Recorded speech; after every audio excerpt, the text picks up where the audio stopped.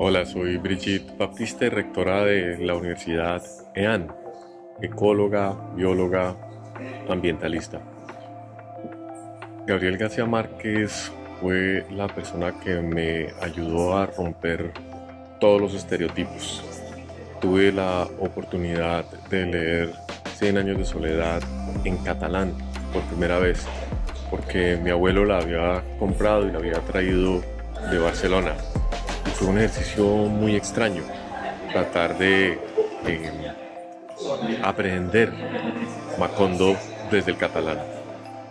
Desde entonces, obviamente, todas sus lecturas han sido muy disruptivas y muy importantes para el ejercicio de la ciencia, para el aprendizaje de la vida en el territorio.